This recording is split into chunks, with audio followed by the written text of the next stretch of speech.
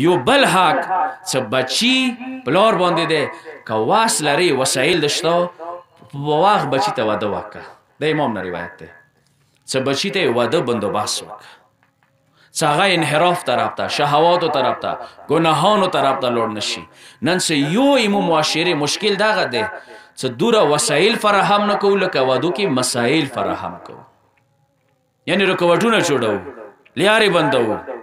ودونه مخبله کې باد کړل ودونه مغیر اسلامی ک غیر شرعي مکړل نن کا اویا او زرو جوړو ډیمندونه او کې نوې دا ودونه به ډیر اسون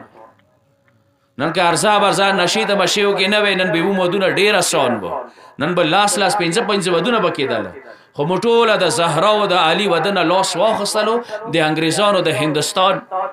معیار مخونو کې وګرځول ای کاش که دا میاری مخونو کې وې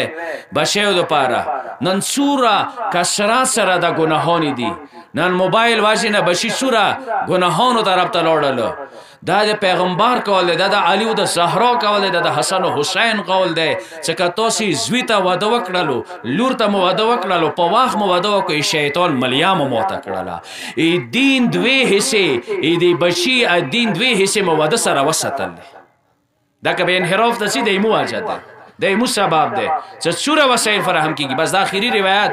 امام نه روایت ده چې کبشای ګناهانو طرف ته لاړلو توسه وسیل شته پیسې شته سہولیات شته واده وته کوي شي نه وته کوي د وړ کې نه زنا بدګری وشوله سوره ګناه چې سویسی لیکای شي مغور پلور سیاله کاش د روایت ته حدیث